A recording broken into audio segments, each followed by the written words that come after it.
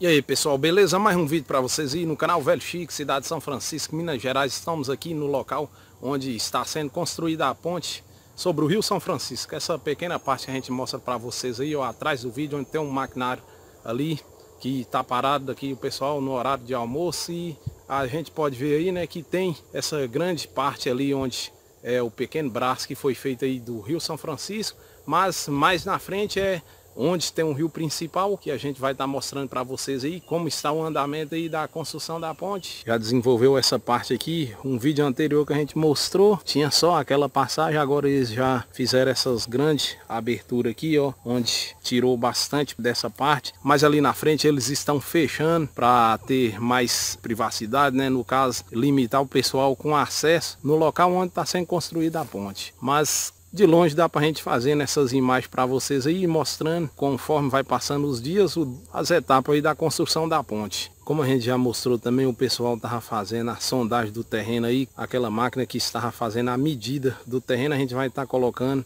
é a parte aí da fala de um engenheiro, o que que essa máquina faz. Então acompanhe o vídeo aí. O solo de uma região é diferente do solo de outros locais. Até num determinado local, ele tende a ter diferentes características dependendo de sua profundidade. A sondagem consiste em técnica de investigação para reconhecimento e caracterização do solo, conforme a profundidade desejada. É muito utilizada na engenharia como subsídio para dimensionamento das fundações. Mas, para melhor conhecimento dos solos, é pertinente a extração de amostras, muito importantes para análises específicas. A sondagem rotativa é um método de investigação onde a perfuração é realizada através de uma perfuratriz, uma sonda rotativa com coroa diamantada. Ela é utilizada em solos alterados e rochas.